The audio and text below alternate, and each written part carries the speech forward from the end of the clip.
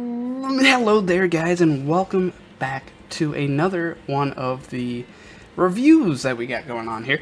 So we just finished watching ReZero last night. Sorry about that. So we just finished watching ReZero last night, and my friends and a whole lot of people have been bugging me about this. They're like, "Yo, dude, totally, you should watch it. You'll love it. It's a great show. Like, fucking phenomenal." Cried like a little bitch, and I was like, "Okay, yeah," and I just moved it to the top of my list to watch, and finally got around to watching it. And guys, it is a really great show. I definitely, this is a definite one that is recommendation worthy. This um, this 25 this 25 episode series was definitely a worthwhile time spent. You know, it's worth it. Go for it, definitely. I fucking enjoyed every episode of it. So basically, as a general synopsis, you got this dude who's a gamer, kind of neat character uh, that just stays inside all day and does that kind of shit. You know, he's a neat, they almost yeah, people should know what he is. So kind of a nobody, doesn't do much, weak kind of guy. So Subaru then gets transported into a basically a fairy tale kingdom that he fucking loves. You know, he's he's totally taking the aspect like, dude, this is just like a video game, magic powers, mystical creatures and shit everywhere, knights and roaming RPG basically. And he totally is like, this is awesome. Let's let's kill it. You know, like, like let's do it. You know, be be a new me, go after it. And basically, he it takes a while, but he realizes he has checkpoints. So he will die and come back where his checkpoint was last last left off, but he doesn't know where that he checkpoints at. So that's the problem. But it's usually a painful death that he has to go through and not only physically painful but psychologically too and just that factor is great i love how you see it progress and how it changes the characters and how everyone interacts with him differently and how he in- interacts with people differently and how he has to handle it and understand what's going on and how he has to come to terms with all that. And like holy shit man it is a thinker. Like you just gotta be like bah like holy shit man. It's it's phenomenal guys. It's really good. Definitely recommendation worthy i i don't know i for a while starting into this so starting into this i was like dude just tell them like you can, you, you can come back to life and i don't spoiler, guys. I don't I don't know the spoiler, but for a while I was like watching this, be like, you dude, you just you just gotta tell them like you can come back and you know relive shit. You know, you you know the future kind of, and and when they finally like brought that up in the story, I was like, holy shit, like good twist, I guess. I don't know, man. It was fucking good twist, and like I I hate it, but I love it. You know, it's like I'm glad they put a solution to that because I was definitely questioning it. But it's like, oh, it would be so much cooler if they. I don't know if cool's right word, but it'd be it'd be very different if he was able to tell people. But because he wasn't able to, and the repercussions of him not being able to was great because it played a bigger role later in the uh, anime, and that was brilliant of them. Um, and I heard that the, I guess, ending to this is uh, pretty much a one to one comparison to the manga, if I'm mistaken. I might be. I don't know. I haven't read the manga. I only got told this, so this is this is coming from someone else, and uh, they told me. But uh, dude, I've I've I'll tell you what. I've, I've this one made me cry multiple times, like during this. Like, dude, I am like sorry for Subaru. Like, holy shit, my dude, he is having a rough time. And if you all seen this, you know exactly what you mean. During like when him and Emilia are like just, uh, he's he just had a rough day one day. You know, that's just, and then it just adds up, and then like he snaps, and then he everything. I love the best quote, or I love this quote. It's like the definition of insanity. It's if you played Far Cry 3, you've heard it because it's from. I for, this is where I know it from. From Far Cry 3, the baddie goes. I, did I ever tell you the definition of insanity? Insanity is doing the exact same fucking thing over and over again, expecting this shit to change. That is crazy, and I love that quote because I feel like that does play a huge role into this. But he, Subaru has such a strong will that he wants to change and play something out different, even if it's just a minor play different. That he is always trying to get the end result to be what he has, like what he has in his mind, like help out all of his friends. He wants to protect everyone, of course, but like it's hard when the deck is stacked against you. So he's playing so many hands trying to get the right one, and it just it's one in a million. And he finally, I mean, he gets it. He gets it.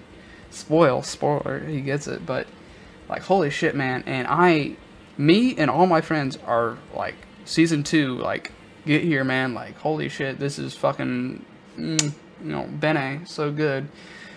Um.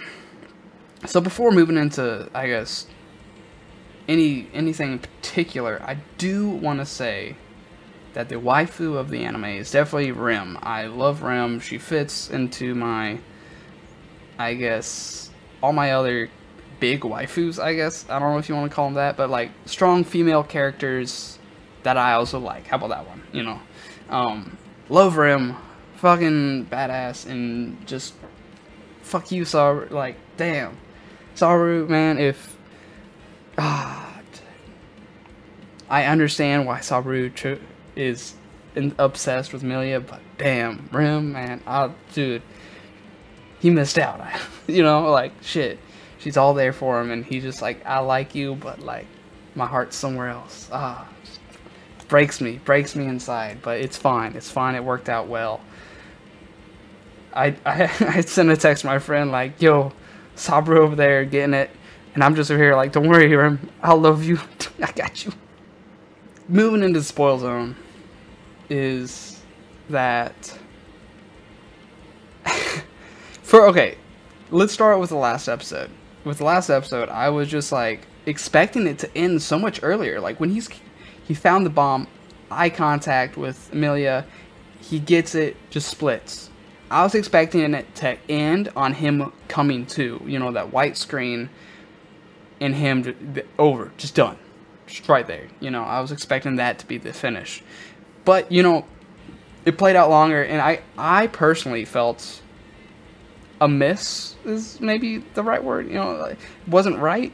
I, I don't know. I, my vocabulary ain't too good coming from the backwoods here. Uh, no, I don't know if I'm using the right word for this, but it, it, it felt a little off just because I was expecting it to end and it kept going a little bit.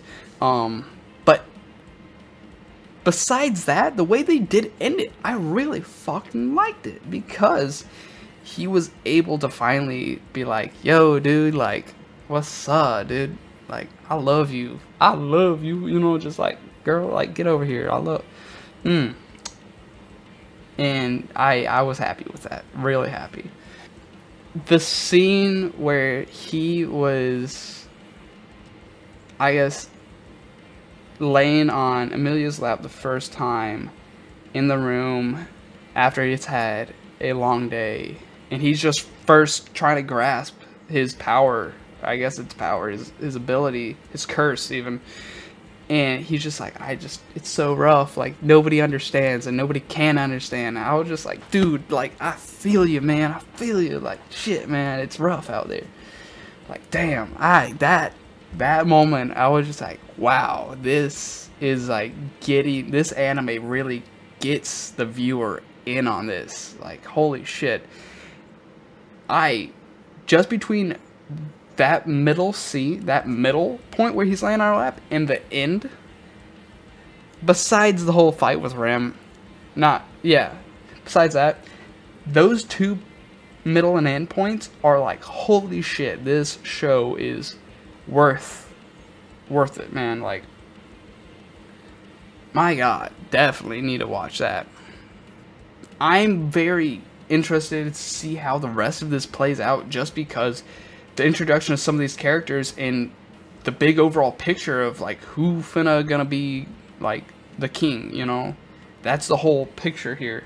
And you don't necessarily get that idea until later into the series. Like it's not really a spoiler, but like that's that seems to me what the goal is here is who's gonna become the ruler and uh, so Subaru wants Emilia to be. So he's gonna help her out. But along the way, just making friends, you know, and I feel like that was like 10 out of 10, you know? Everyone needs some friends. So, but like, basically, overall, guys, like, the fight scenes, good. Fight scenes were, the fight scenes were pretty good. I liked them, especially when, when Rem fought, that one was really good. And during the whale fight scene, that was, that was only good because the swordsman and the wolf dude, I don't know the wolf dude's name, but yeah. But those were the, since they were the two powerhouses, that's the only reason it was good. Other than that, it was it was all right, you know. But I did I did like the way they did the swords and the the swooshies and dude, holy shit, they even like made connect with the old man even though we like barely knew anything about him. Like that was still fucking really good but yeah, guys, that's I guess my splurge. I don't know how other how to say since this was just like a whole bunch of like excitement during this whole thing and good feelings, overall good vibes coming from the show. Good vibes, you know what I mean. I loved it, but it was sad. But uh, I hope if you haven't watched it, please watch it. If you have watched it, dude, like you know what I'm talking about. But Thank you all for watching this, and I will see you in the next one. All music used in this video uh, is from a YouTuber named Trial and Error.